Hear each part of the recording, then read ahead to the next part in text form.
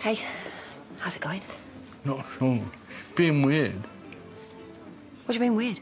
It's Acting like she didn't want to be here. And she keeps staring at that bloke.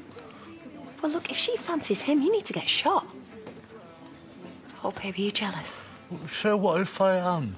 She's supposed to be here with me. I wasn't that great at school, but I loved computers. Bit of a geek, really, if I'm honest. What's up? Have I got competition? What? The bloke at the bar.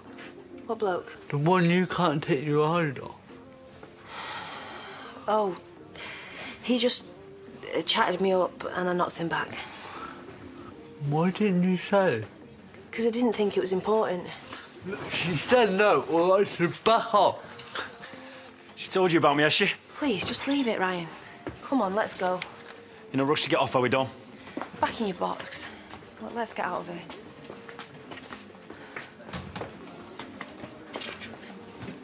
Do you want a beer?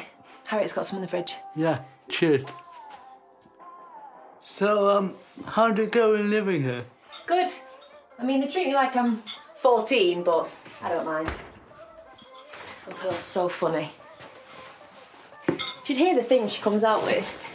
The other day, she got Fifty Shades of Grey out the library, again, and read it all in one go. I know. And then she was like, I'm telling you, Dawn, if any man ever tried any of that stuff on with me, I'd slap him round the head. Cheers.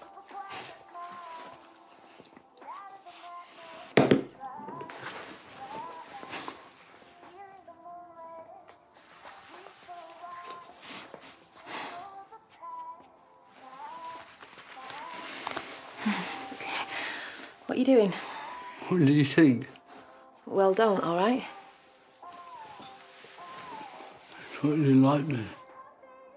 I do. Then what's the problem? Okay, so you like me, but not enough to have sex with me. Is that it? What are you on about? You, and the way you've been with me today. How did he know your name? Who? The bloke in the pub.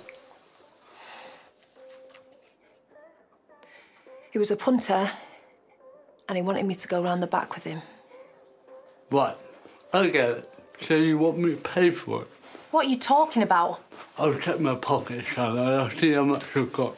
What are you doing, Ryan? You just said you said the punter that much, so is it terrible enough? Or do you charge more because I'm disabled? Is this a joke? Get out. Just leave, will you? Get out now! You're so not the person I thought you were.